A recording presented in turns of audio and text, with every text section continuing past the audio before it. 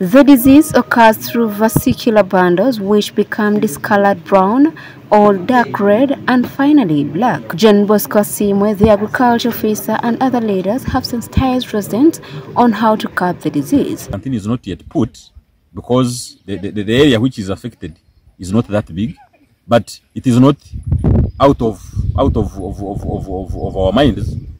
In two weeks from now, if we don't see any progress, quarantine will be will, will, will be installed. This because I also saw a, a few plants, the, the the leaves wilt.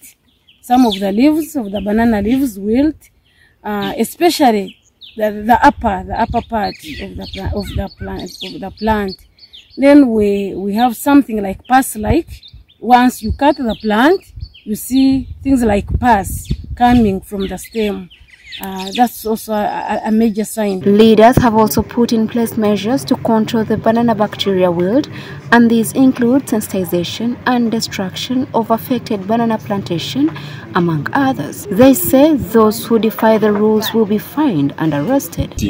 Of the leaves, the premature ripening of the bunches, and then when you cut the affected plant, you will find the sap and the and what would be the, the, the moisture within the plant smells badly. And uh, those are the basic signs which you can see although others may, may, may be seen on site as we train them. Bona kweleta twena tukazaha na district yona twaza kuza mu mwanya ogwo tukoreremu emirimo egi kusikya kajunde egi yarugaho Story by Richard Nahabwe for the news.